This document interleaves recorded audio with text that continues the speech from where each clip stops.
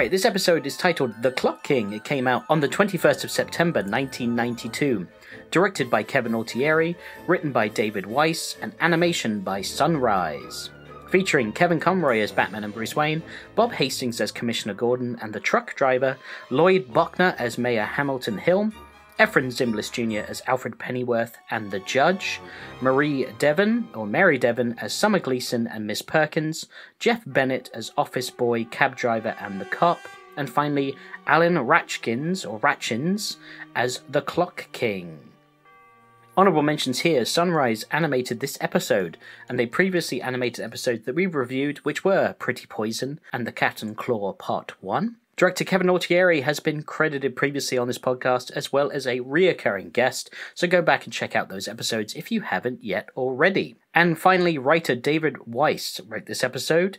This is the first time he showed up on this show. He's written other Batman episodes, which were The Strange Secret of Bruce Wayne and If You're So Smart, Why Aren't You Rich? Two of my like top episodes, those to come, which I'm looking forward to reviewing. Now it's interesting that you said that this was animated by the same people that did the Cat and the Claw one, because there was a Scooby Doo-ness to some of this of the way people walked, and just like the Scooby Doo-ness of the assistant in the Cat and the Claw, when she like remember when she walked Oh, to drink like the glass of lemonade, and I'm thinking, does this studio like I don't know, do they make Scooby Doo and and like They they, have like a base walk that they just like copy and paste for the anim- animation? Not literally that's- copy and paste, you know what I mean? Yeah, I know what you mean. Yeah, I think um, I think you might be I think you might be right there There's because because there's one point when Batman's walking um into the vault, I believe it is, and like the way he's like walking sideways is that Scooby Doo walk. yeah, it's kind of like the shoulders are like swaying a bit more, and it's a bit clunky as well the way he's moving. Yeah, David Weiss is also known as one of the head creators and writers of Teenage Mutant Ninja Turtles, so he spearheaded hmm. most of those episodes, which is really cool. Plus, he, he wrote episodes of James Bond Jr., Transformers, Chip 'n Dale Rescue Rangers, He Man, and Mighty Ducks, and he passed away in 2020 at the age of 65. Oh, I hope that wasn't anything to do with COVID and, and that date. Um, but that's quite a legendary run of childhood shows, isn't it? Yeah, absolutely. Yeah, he. I mean, being one of the head creators of Teenage Mutant Ninja Turtles, like one of the biggest cartoons ever, like that's awesome. So uh, yeah, we'll see him appear as another and Batman. Yeah, a couple other writing creds that we'll see in other episodes to come. All right, some acting creds here. All returning characters have been credited previously on this podcast in their first appearances, such as Mary Devon as Summer Gleason in Christmas with the Joker, or Lloyd Bochner as Mayor Hill in On Leather Wings. So go back and listen to those eps if you're interested in learning more about those voice actors. As far as new credits go for this episode, we've only got one, which is- Alan Rachins, who plays the Clock King, and he's also known for playing Tony Moss in the movie Showgirls, Douglas Brackman in LA Law, and Norman Osborn in the Spectacular Spider Man cartoon series. Spectacular, spectacular Spider-Man. Spider Man! So, yeah, Clock King is also Norman Osborn in that show. That's an interesting I voice am there. Norman Osborn. Yes, yes, yes, yes, yes. Why are you going underdwellers with the Clock King? I know what I'm doing. Uh, okay, utility belt of fun facts. Bruce Timm was not a fan of the color choice the animation studio used on the Clock King suit, as he felt like it made him look too normal. Instead, he wanted him to look more like a supervillain, with something like maybe like a, I don't know, a crimson suit or something like that. But I found the normalcy of suit to be the most appealing part of this episode because it's a true normal like it's a very real world scenario of uh, a guy's been pushed to the limit and becomes a quote unquote supervillain uh, but is a, just a regular guy I agree with you. I think that the suit doesn't matter. He's not a fashion guy trying to make a statement, right? He's just like brown suit. That's done. Like it's part of my schedule. Like get dressed, same brown suit every day. You know that type of routine. well i guess he does get put the glasses on which makes him like uh, the quote unquote like supervillain right? Because he's got little clocks on his glasses. He's like can't be bothered with a crimson suit but I, I'll jazz up my glasses a little bit. There we go. Now, now I'm a villain. Ha! No one will recognize me. It's true. Uh, the Clock Tower battle, storyboarded by Brad Rader, is an homage to Castle Cagliostro, which is something I've never heard of, but apparently Kevin Altieri said that the movie, which is Ca- Castle Cagliostro, is what got him into animation, so he was very happy doing his special effects work um, for this episode. And then we've got the Clock King is an original villain from DC Comics. Though his character is much different from the animated version, both characters are efficient experts who make uncanny use of timing, but the original Clock King was named William Tockman and his crimes were motivated by the need to provide for his sister when he mistakenly believed he was dying of an illness. The Clock King first appeared as a rogue in Green Arrow, but is probably best known for his membership in the Suicide Squad, and thus a rogue of Batman and sometimes the Justice League. Oh wow, I didn't realize how deep his lore went there. I know. Suicide Squad's kind of fun with the Clock King. That makes sense because he's got a shtick, but it's not like enough on its own. But as part of a team, that makes sense. I guess so. He'd always be like, "Guys, we're running behind schedule. We need to." It's ridiculous. so annoying. Everyone's like, "We know. Just shut up." he's like, "This is all I do." Um, you guys bother me all the time. What's the Clock King doing? I'm serving time. Get it? Anybody? the Clock King's name, Temple Fugate, is a play on the Latin expression tempus fugit, meaning time flies. And this episode breaks the status quo by having Batman making all his appearances by day. Yes, very strange that we get Batman by day, and also a bit loose of Bruce to be walking out of his car fully dressed as Batman. Like anybody could see that. And my favorite is that they drive through Gotham traffic midday, and someone must look over at like I'm pretty sure that the Bruce Wayne's car would probably be embroidered like Wayne Matt, you know, Wayne family plaque on it or something, right? Absolutely, I totally agree with you. There. Yeah, you I just thought... you just look, and there's just like a posh Englishman, and he waves at you, and in the background is just Batman who waves at you as well. I like what if someone walks by and they're like, "Hey, is that Batman in a Rolls Royce? And who's that guy with him? He's wearing a name tag that says Bruce Wayne's butler. Like what? this guy and the, the license, license plate, plate literally says Wayne." Says Bruce the Juice Wayne. Bruce, Bruce da Juice on it. Bruce Two Juice. I am Batman, but with a four instead of an A. I did love Alfred being a part of the adventure in this one. I thought he was a great yes. replacement Robin. Yes, he reminds me in this episode more of um, what's his name? Uh, Lucky, no, Happy Hogan from oh, yeah. Iron Man, just like being like uh, his personal bodyguard and traveling around with him. Um, yeah, was you know very uh, very old school Iron Man vibes. But this episode, though, was very Batman 66. You had, like, knockout gas being used during the robbery. You had a villain using puns, like, for his gimmick the whole time. And you had Batman out in broad daylight for the entire episode. Like, yeah. nothing's more 66 than that. Yeah, you're very right. The music, uh, I think the Clock King's theme is okay, but it's much better in his next appearance when he comes back in Time Out of Joint.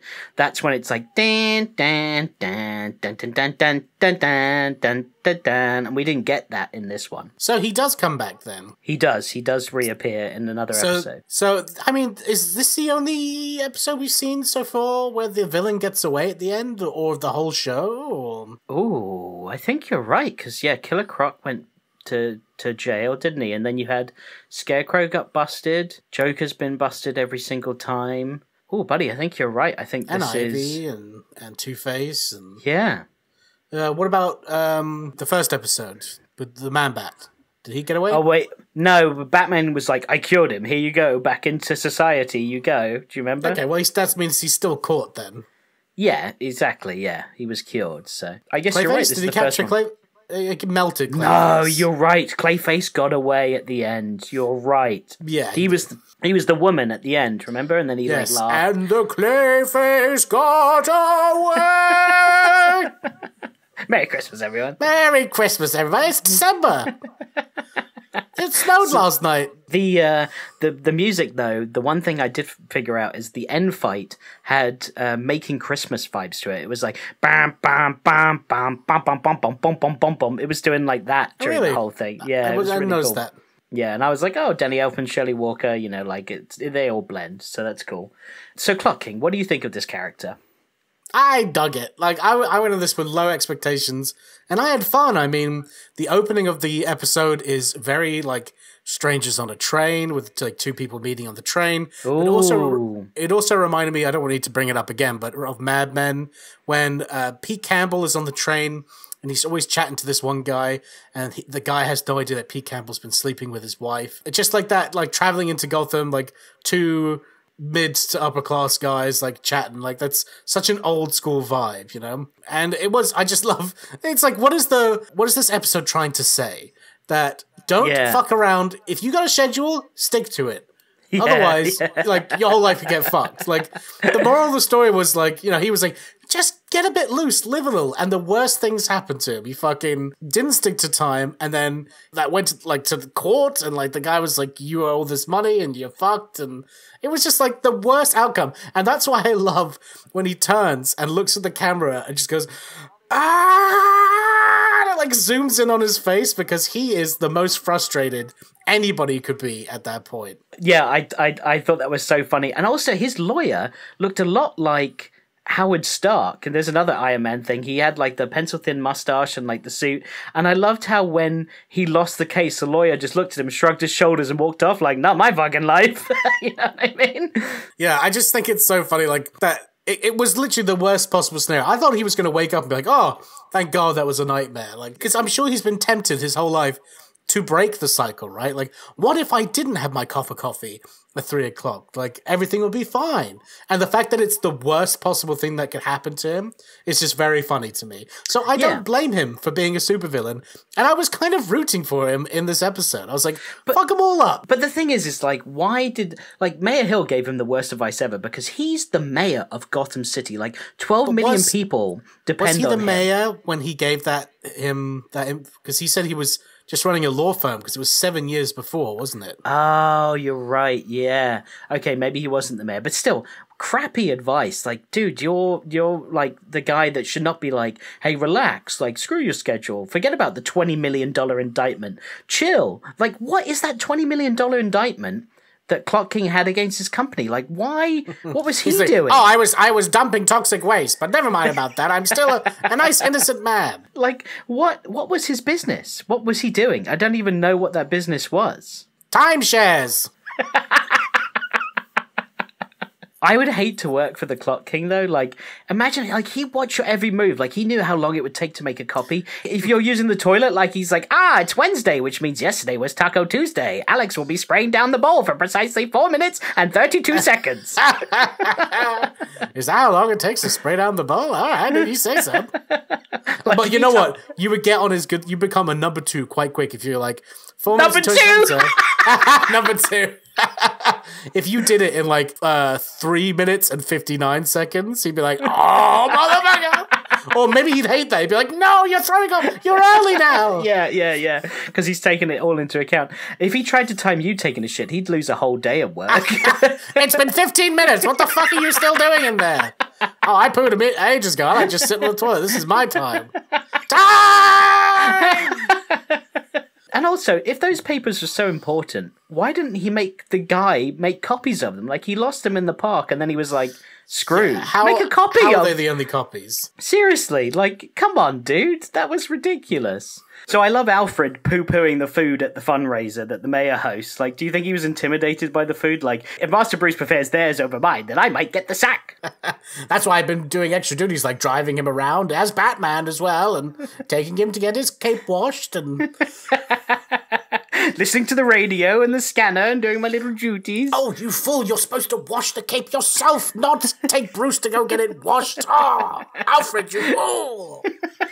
I love Alfred's sass as well after the car accident. Like he doesn't scream and yell at the guy, just calmly fires off like a sarcastic remark and like immediately thinks it's his fault as well. Like I better immediately lay the blame on a taxi driver or else the fender bender will be coming out of my salary, you know? Like he's like, "Oh, taxi taxi drivers don't stop at uh, red lights anymore, I see." Well, imagine if Bruce Wayne was like Larry David, where he's like a billionaire, but he's such a stickler for like money.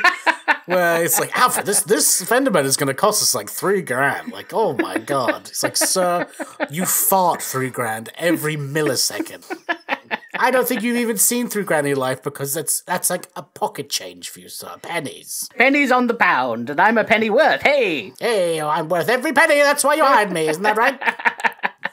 Uh, also, Clock King's plan is, I think, rubbish. Like he plotted for seven years, and his plot is to like take down Mayor Hill to start with by causing a traffic jam. Like he's like, ah, the traffic jam because everyone blames the mayor. Like they I call think him it's a like snowball effect, though. I don't think it's like this is this is the end. It's he he's constantly digging into him. That's why he has the poster that says like no mayor or whatever. Yeah, de-elect de-elect. Mayor Hill. Yeah, I think he's just constantly making him look bad. That's his thing. Yeah, I guess it did work as well because all the traffic, the people in traffic were blaming the mayor. They were like, "Hey, that's Mayor Hill over the hill." People are petty. If I got caught in traffic and uh, and someone was like, "It's that guy's fault," and he's up for re-election, I'd be like, "Fuck that guy! I'm not gonna vote for that prick." I found the Clock King. Like he just works for you. You're like his plot, his whole stick, his It's his whole thing. Solid revenge. The guy gave him terrible advice, so fuck him. And Mayor, you know, does anybody really like Mayor Hill? He's kind of shady, right? Like, does he? Yeah, has he's he not- technically done shady stuff, but that dude's getting paid under the table for something. Well, he doesn't care about his kid Jordan. We know that. He like let Jordan get kidnapped by a fucking murderous clown. So yeah, he's he's not the best mayor. Gotham is arguably riddled with the most crime it's ever had, so not doing a great job on that front. Yeah. Like, if I was voting for this guy, I'd be like, can you keep these? Like, even Batman would be like, for fuck's sake, can you keep them in Arkham? Like, I do you know how long it takes me to capture them? And I've sacrificed my life, my time. I could be hanging out with Alfred or Robin, you know, playing Cluedo. That's that's Alfred's favorite game, and he never gets to play it because I always have to go catch a freaking the Riddler or the Joker. yeah, I mean, I guess Uh, King's, Arkham is privately owned. I can't do it. Oh, oh, it's privately owned, is it? I guess oh, Clock Bullshit. King's his greatest nemesis. yeah. and we put him in like the D for Dookie tier when we were ranking him, but maybe he's gone up a few after this Well, episode. I was a bit shocked at how well he can handle himself against Batman. You know what I'm He saying? thought he was so cool when he first confronts Batman. Like, he's just standing there, leaning on his cane, spinning his little pocket watch, using the word time way too much. He, like, well, that's his he, thing. He had like five locked and ready to go, and he used all five. He wasn't like, oh, that's the best one. He's like, nah, I gotta give them all. I spent some mm-hmm. time developing these. What seasoning do you like on your roast potatoes, Batman? Is it rosemary and thyme? oh, this fucking guy. I'm reoccurring. like time! Like thyme. Got him. yeah, I I mean, I don't know. I guess uh, well, Clock King's got to have some fans, and he's got a fan in you. I I'm kind of like, yeah, he's an all right villain, but to get back to what I was saying, Batman like completely confronts him on the top of the clock, like, "Gotcha, I'm gonna take you down." And he uses his like sword. He's like, "Ha ha!" and like he knocks Batman off of the clock, like it's no problemo. The way he moves around like the clock, like he's got some skills. yeah, he does, and he did say, well, he spent seven years, and he's like, I've studied news footage of you and like how you fought. Ah, for seven years, I went and I trained around the world, Batman, for the greatest clock masters and fencers. It took me a lot of time, Batman, but I did it. Mm-hmm. Mm-hmm. Um, I love that Batman moment is when Bruce runs up the stairs of the building to get to the rooftop to confront Clock King, and you see his shadowy silhouette as Bruce Wayne. And as it goes like up, you suddenly see Batman running. I thought that was cool, and you get the Batman cool. theme. I thought it would be so funny if when Clock King blindly fell back off the building to land on the nine fifteen train, which is always six minutes early according to him, that it wasn't early that day. Like, and he just splats down on the train tracks. like Batman's just like, and then oh, gets run over by the train. And Batman's like, a gruesome fate for a gruesome man. Imagining like all the things that Clock King's like, okay, I've studied everything and just everything goes fucking wrong. Like on that one day, he's just like, why today? Why? He Turns to the camera again.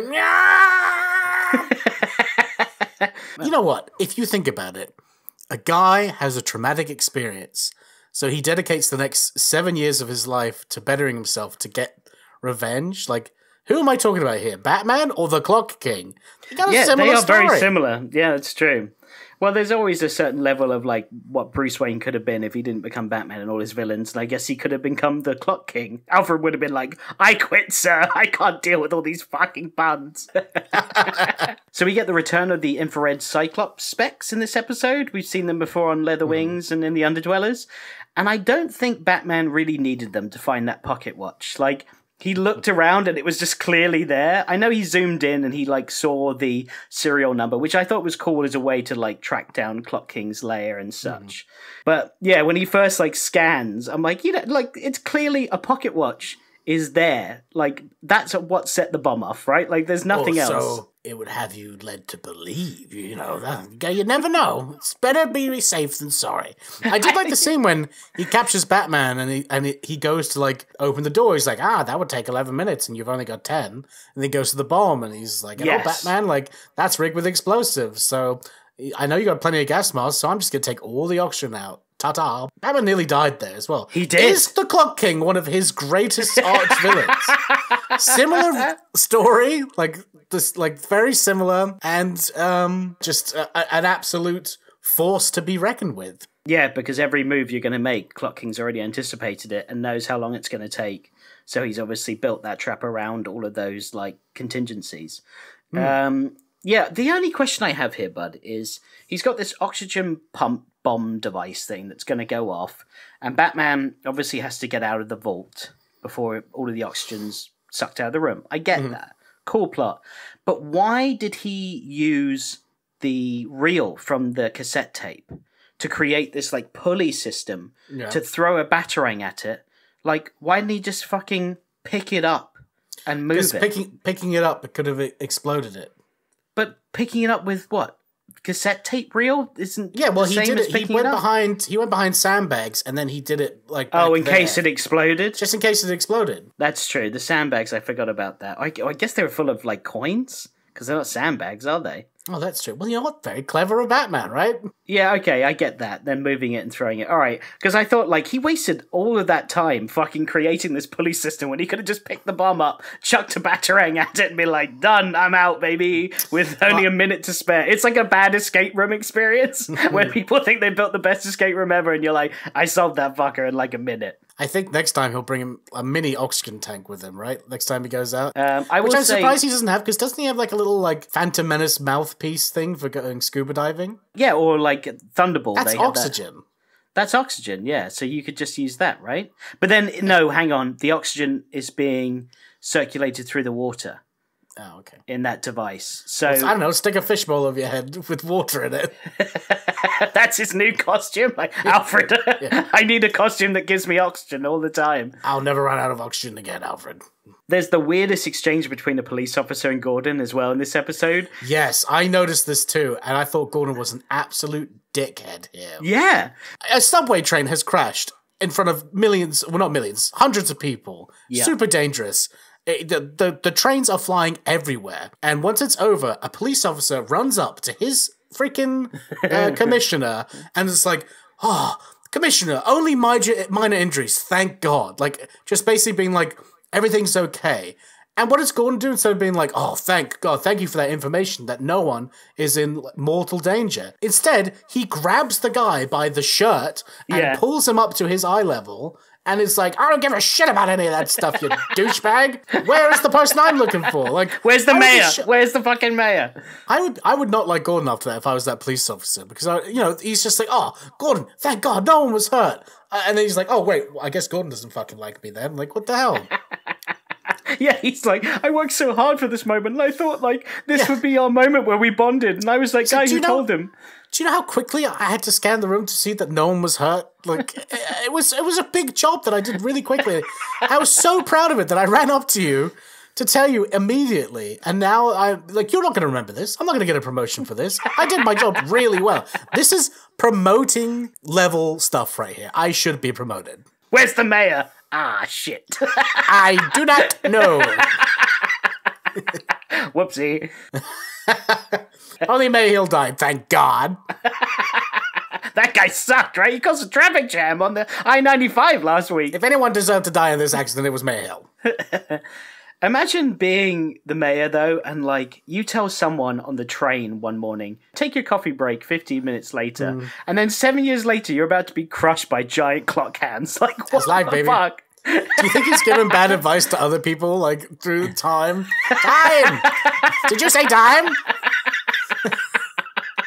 Every one of them is the clock king. they all obsessed with time. It's like him at college and he's like smoking a bowl with like his roommate. Oh, I'm gonna be late for class. I just know it. Man, you just gotta like chill, hit this bong, and then then go to class, and everything will be alright. And he's like, okay. And he hits the bong. He misses the class. He gets he fails the paper, which means he he gets expelled or no, his grade lowers. He doesn't get the job. He's like, I was gonna give you the job, but since you got this grade on this test and your number one competitor passed with flying colors, who is Mayor Hill, by the way, future mayor of the city. I bet he goes, through his whole, he goes through his whole life in that scenario. That would be really funny. That would be amazing. He's fucked up like 20 people's lives just casually telling them to take their break 15 minutes later or be 15 minutes late for something. That's his MO. Everyone's in such a hurry. Oh my god, what's the rat? Oh, rat race, am I right? Oh, little rat in the race.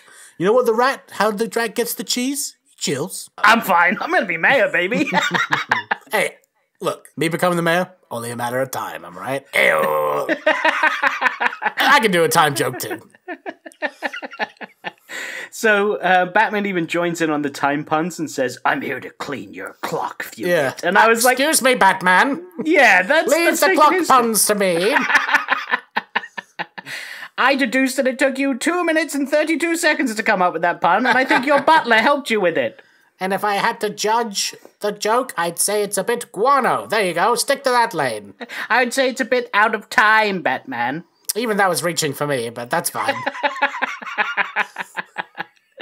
Uh, so, what did you think of the final fight in the clock tower then? Oh, it was just, you know, it's it's the classic the show does where it's like, and we have a big set piece battle in the third act, right? Like, Yeah, we've had the planetarium. Now we're fighting inside a giant clock, and like, Yeah. it'll be something else that's massive, like I don't know, like f- fighting in the Macy's Thanksgiving Day parade and like all that type of stuff. It's always Well, something against, like that. against Turkey Man or something like that? Yeah. gobble, gobble, Batman. President's gonna pardon me of all my crimes, just like he pardons a turkey every year. Hmm. and don't cook me with rosemary and thyme. it's me, the Clock King. I'm here to roast your turkey, Turkey Man. Oh, Batman! So I also did you notice Batman makes the funniest noise when his legs are tied up by a pocket watch? And I was like, imagine if that's how Batman dies, like just takes out I'm by a pocket you. watch. I don't know if Batman was having an off week or an off day, but Clock King was dominating him. You could say he was cleaning his clock. I was cleaning his clock. I already said that one. Oh, well, it was a good one. I'm taking it. So Clock King falls to his, suspo- uh, his supposed death, and Batman saves the mayor. Then Gordon can't believe that he might have survived, but Batman thinks it's only a matter of time until we see the Clock King again. I'm bad like, another I'm one. sorry. No, stop it. I, I'm going to disappear now, but I, I'm sorry I had to speak up. Gordon turns around and looks at Batman. He's like, "You're the Clock King." He's, Gordon's like, this is the guy that's been giving you shit? The guy that, like, outsmarted you, nearly killed you, like, could beat you in fencing? This little motherfucker? he looks like just like somebody cosplaying as the Riddler. Like, come on, man. A bowler hat? You're gonna die by a man in a bowler hat? I knew it was only a matter of time until you started making. Oh, that's it. You're under arrest as well. That's fine. I'll escape from Arkham like all the other motherfuckers do. Thanks, Mayor Hill. yeah, he plays the mayor. Everyone's always like, thanks, Obama. It's, oh, Yeah. ah, gas prices are rising in Gotham again. Thanks, Thanks, Mayor. Mayor Hill. That's brilliant. Ah, Netflix took the office of a fucking their streaming platform. Thanks, Mayor. Thanks, Mayor Hill. ah, my lasagna is cooked on the outside, but it's still frozen in the middle. Classic Thanks, Mayor, Hill move right there. he must have come in here and, and, and changed the, the time that I was cooking. Did you say time? Time? The time has changed. That you needed to cook it. It was actually me. Ah, but you think it's the mayor. Ah, my plan is working. Success. What time did you set on the microwave, huh? okay, that's too many times. oh god! So that is the end of the episode. And buddy, like always, I ask you: is, Does this make your top three? No, but I did enjoy it. Yeah, and I now so- now I think uh, I would put the Clock King higher on, on our ranking list now. Interesting. Where do you think he would go? A B? Uh, C Yeah, C. Clock. C for clock. C for clock. I burped when I said C. I don't know if anyone heard that, but there you I go. think that's that's two burps in this That's two episode. now. burps I've done while speaking. I am getting older and I cannot control what comes out of my throat. That's what Yeah. she said. All right, moving So- on. Uh, yes. Okay. So we've got our top three. Just to remind everyone, is still in no particular order: On Leather Wings, Two Face Part One, and Joker's Favor. That is correct. All right, so our next episode, Ben will return to review Batman Returns, as we will be doing Batman at the movies. So Ben and I will be reviewing Batman Returns, and we'll be taking a well-deserved break, as he's got a lot of deadlines he's going to meet. And then after that, we will have our final episode of the year, which will be our toy review and ranking episode, which I'm really looking forward to. But I've already started like gathering up some uh, images of toys and going down memory lane. Can't wait to share that with you. That's going to be a lot of fun. That'll be fun, yeah. Then we'll take a break for Christmas and New Year's, and probably come back. La, la, la. And your birthdays, mate. And my Oh, birthday.